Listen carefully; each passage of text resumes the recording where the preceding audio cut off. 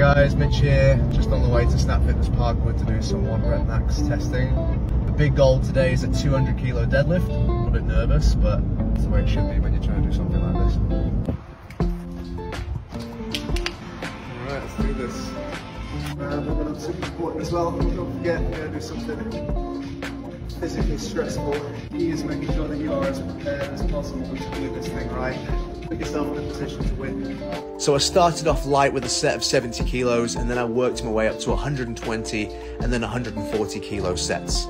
After that, I moved on to my single rep sets where we started at 160, then went to 170, and then went to my previous one rep max of 180. There we go, 190 kilos. Now we're in uncharted territory. Never done this before, so this is going to be a personal best.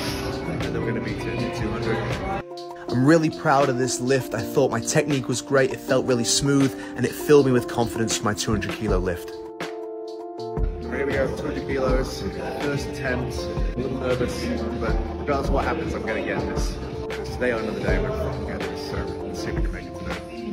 Now, as I look back on this, I feel like I let the moment get to me a bit, and I failed to set up as well as I could have, so I ended up hurting my back during the lift.